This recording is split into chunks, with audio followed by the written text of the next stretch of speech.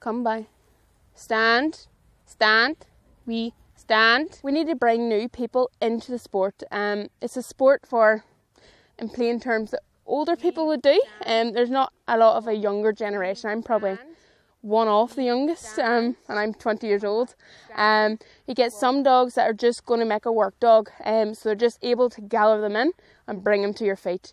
But for the likes of a trial dog like Chip or other trial dogs, they need to be obedience. It's hard to get a trial dog, to be honest, that is that will take you to the next step.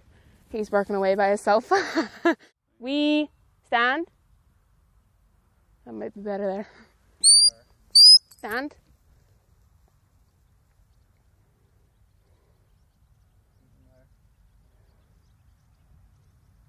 if you have a hundred or two hundred or five hundred sheep, you know, you, you really you, you need a real good farm dog to start off with.